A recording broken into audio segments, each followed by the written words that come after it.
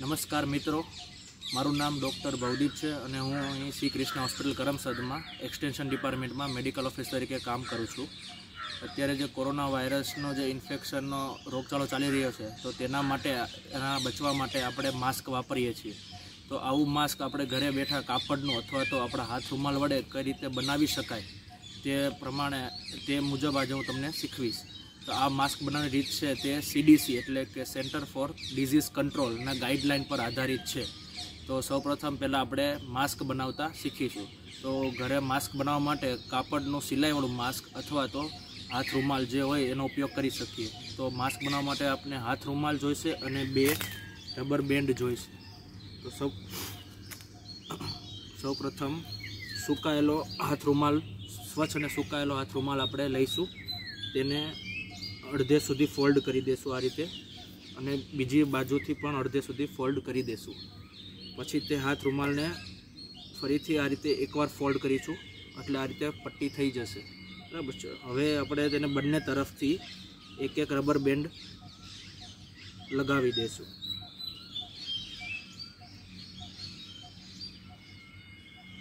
ત્યારબાદ રબર બેન્ડના પાછળના ભાગનો જે રૂમાલ છે તેને અંદરની તરફ આપણે વાળી દઈશું આ રીતે. હવે બંને સાઈડની રબર બેન્ડને આ રીતે પકડીને નાક અને મોઢું બરાબર રીતે ઢકાય, એ રીતે આપણે તેને પહેરીશું. અને માસ્કને તમારે જે રીતે ટાઈટ રહે, એ રીતે એડજસ્ટ કરવાનું છે. માસ્કને વચ્ચેથી અડીશું નહીં, એની બોર્ડર ઉપરથી અને સાઈડથી જ અડીશું. માસ્કને ઉતારતી વખતે પણ પાછળથી રબર બેન્ડ અથવા તો જો દોરીવાળું માસ્ક હોય, તો દોરીથી અડીને જ એને ઉતારીશું. માસ્કને વચ્ચેથી ક્યાંય પણથી અડીશું નહીં. ઘરે બનાવેલા માસ્કને વાપર્યા બાદ આપણે એને ફરીથી સાફ કરીને કઈ રીતે વાપરવું, હવે એ વિશેની આપણે ચર્ચા કરીશું. તો માસ્ક પહેલાં કઈ રીતે પહેરવું, પહેરતી વખતે શું ધ્યાન રાખવું, એને પણ શીખી લઈએ આપણે. તો માસ્ક કેવું હોવું જોઈએ? તો સૌપ્રથમ કે માસ્ક છે એ સૂકું, સાફ અને ધોયેલું હોવું જોઈએ. માસ્ક પહેરતા પહેલાં આપણે પોતાના હાથ બરાબર રીતે ધોવા જોઈએ. હાથ કઈ રીતે ધોવા એનું આપણે તમે આગળના સેશનમાં શીખવાડીશું. અને માસ્કને છે ને દોરીથી જ પકડીને પહેરવાનું અને એડજસ્ટ કરવું હોય તો દોરીથી જ એડજસ્ટ કરવાનું. અને એકવાર પહેર્યા બાદ માસ્કને વચ્ચેથી અડવાનું નહીં.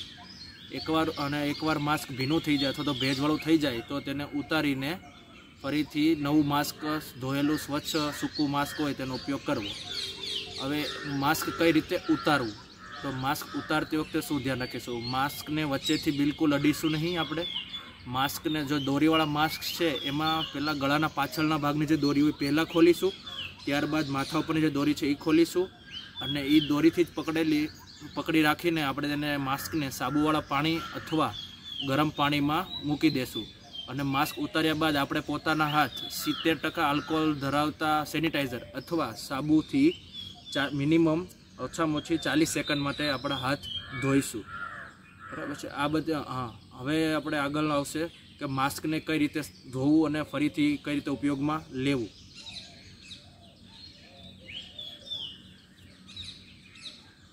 તો માસ્કને એકવાર ઉતાર્યા બાદ એ ત્રણ મેથડ છે તેને ફરીથી યુઝ કરવા માટે રેડી કરીને. તો મેથડ નંબર એક, માસ્કને ઉતારીને ગરમ પાણીમાં સાબુથી ધોઈને તડકામાં એટલે કે સૂર્યપ્રકાશમાં ઓછામાં ઓછી પાંચ કલાક માટે સૂકવવું, ત્યારબાદ જ ફરીથી ઉપયોગમાં લેવું. જો આપણી આજુબાજુમાં સૂર્યપ્રકાશ તડકાની હાજરી ના હોય, તો બીજી મેથડ એ પણ છે કે આપણે ઘરે જે રસોઈમાં આપણે પ્રેશર કુકર વાપરીએ, તેમાં માસ્ક નાખી દેવાનું અને પાણી નાખીને ચપટી મીઠું નાખવું હોય તો નાખવું, ના નાખો તો પણ કાંઈ વાંધો નહીં. અને તેને કુકરને બંધ કરીને દસ મિનિટ માટે પાણીને ઉકળવા દેવું. ત્યારબાદ માસ્કને સૂકવી દેવું.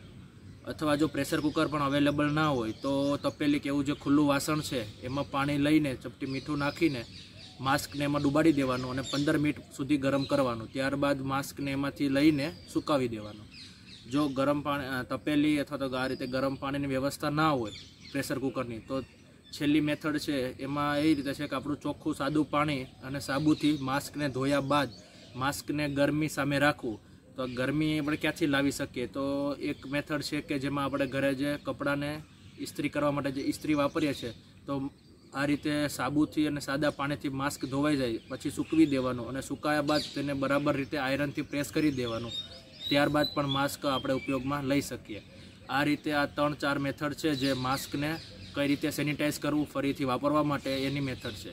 આ જે બધી માહિતી છે એ બધી પાછળ એક લેખિત રીતે પણ આપીશ અને નીચે વીડિયો ડિસ્ક્રિપ્શનમાં પણ માહિતી આપેલી છે. અને હેન્ડ વોશ માટે પણ નીચે વીડિયો ડિસ્ક્રિપ્શનમાં લિંક આપેલી છે. તેના પર તમે હેન્ડ વોશ કઈ રીતે કરવા, બરાબર રીતે એનો પણ તમે જોઈ શકશો.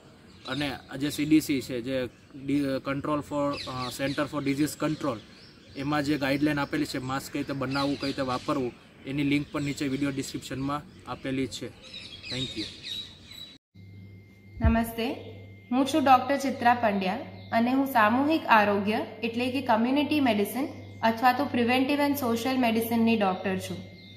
આજકાલ કોવિડ ઓગણીસ એટલે કે કોરોના વાયરસથી ફેલાતી બીમારીની ખૂબ જ ચર્ચા ચાલી રહી છે અને લોકો એનાથી ખૂબ જ ડરી રહ્યા છે. પણ તેનાથી ડરવાની જરૂર બિલકુલ જ નથી. પણ હા, તેનાથી સુરક્ષિત રહેવા માટે જે કંઈ પગલાં લેવાના હોય એ પગલાં લેવું જરૂરી છે. એમાંથી સૌથી અગત્યનું પગલું એ છે કે આપણે સાબુ અને પાણીથી વારંવાર પોતાના હાથ ધોઈએ. આપણા હાથ ગંદા ના હોય તો પણ દર કલાકે કલાકે ઓછામાં ઓછું પોતાના હાથ સાબુ પાણીથી ધોવા.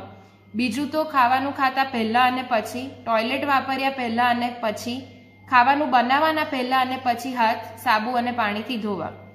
હાથ ધોવાની એક પદ્ધતિસર રીત છે જેથી કરી અને હાથ પરના રહેલા જે પણ કોરોના વાયરસના, ક્યાં તો બીજી બીમારીના જે જીવાણુ હોય તેનો નાશ થાય છે.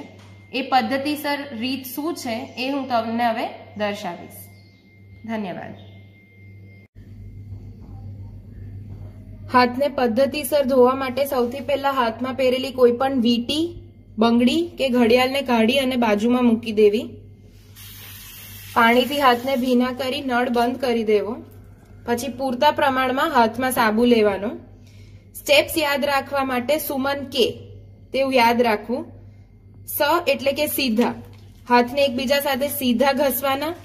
આંગળીની વચ્ચે પણ ઘસવાના, આ રીતે. પછી ઉ એટલે ઊંધા.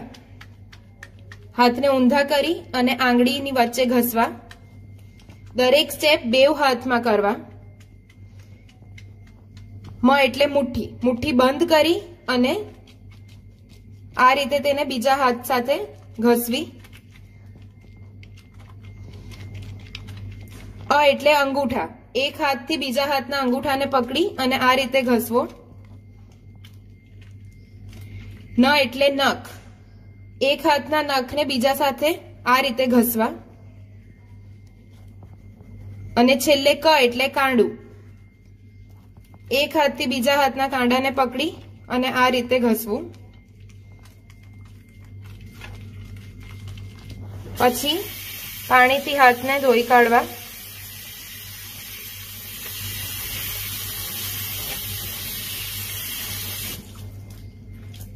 ત્યારબાદ હાથને રૂમાલ કે નેપકિનથી લૂછવા નહીં, હાથને હવામાં જ સુકાવી દેવાના. કારણ કે રૂમાલ કે નેપકિન પર પણ કોરોના વાયરસ તથા બીજા જીવાણુ પણ હોઈ શકે છે. જે આપણા હાથ પર લાગી અને આપણા આંખ, નાક કે મોડા દ્વારા આપણા શરીરમાં પ્રવેશી શકે છે. પદ્ધતિસર હાથ ધોવામાં એ યાદ રાખવું કે દરેક સ્ટેપ ઓછામાં ઓછું દસ સેકન્ડ માટે કરવું. એટલે હાથ ધોતા તમને ઓછામાં ઓછી ચાલીસથી સાહીઠ સેકન્ડ થશે. આ રીતે પદ્ધતિસર હાથ ધોવાથી તમે પોતાને અને પોતાના આસપાસના લોકોને કોરોના વાયરસ તથા બીજી બીમારીથી સુરક્ષિત રાખી શકો છો. ધન્યવાદ.